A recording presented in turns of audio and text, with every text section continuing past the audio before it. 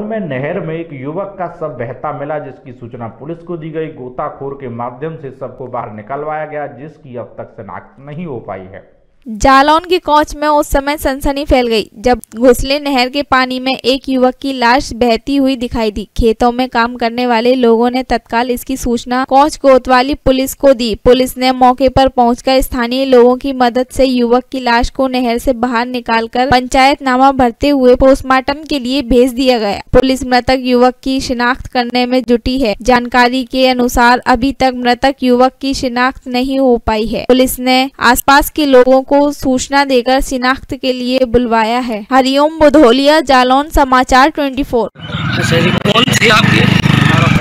अच्छा क्या करते थे? थोड़ा बहुत साड़ी का काम करते थे क्या नाम है इनका? चतुर्थी नाम है। अच्छा कितनी उम्र बैठेगी इनकी उम्र होगी वही अट्ठाईस किलोमीटर।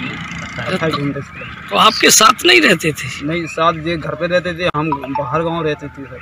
अच्छा तो कैसे क्या हुआ ये घटना? अब घटना सर जो है कहना ये ये थोड़ा बहुत पिए होंगी मार है।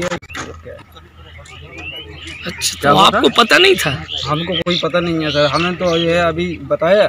हमको कहीं बुलाया है सर ने तो हम चले आए। तो ये लापता थे क्या एक दो दिन से?